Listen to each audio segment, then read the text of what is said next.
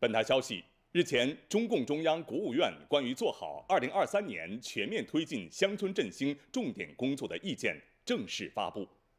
意见指出，做好2023年和今后一个时期“三农”工作，要坚持以习近平新时代中国特色社会主义思想为指导，全面贯彻落实党的二十大精神，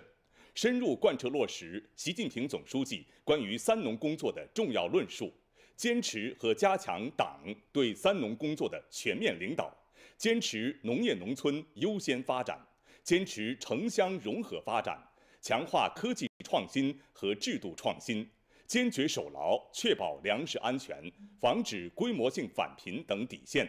扎实推进乡村发展、乡村建设、乡村治理等重点工作，加快建设农业强国，建设宜居宜业和美乡村。为全面建设社会主义现代化国家开好局、起好步打下坚实基础。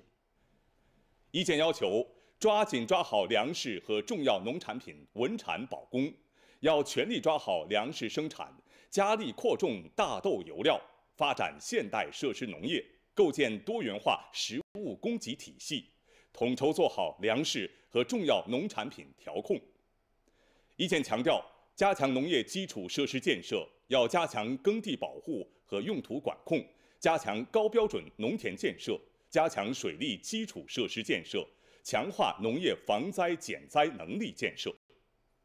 意见要求，强化农业科技和装备支撑，要推动农业关键核心技术攻关，深入实施种业振兴行动，加快先进农机研发推广，推进农业绿色发展。意见强调。巩固拓展脱贫攻坚成果，要坚决守住不发生规模性返贫底线，增强脱贫地区和脱贫群众内生发展动力，稳定完善帮扶政策。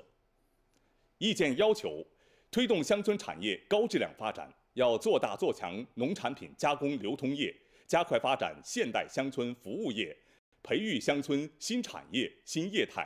培育壮大县域富民产业。意见强调，拓宽农民增收致富渠道，要促进农民就业增收，促进农业经营增效，赋予农民更加充分的财产权益。意见要求，扎实推进宜居宜业和美乡村建设，要加强村庄规划建设，扎实推进农村人居环境整治提升，持续加强乡村基础设施建设，提升基本公共服务能力。意见强调。健全党组织领导的乡村治理体系，要强化农村基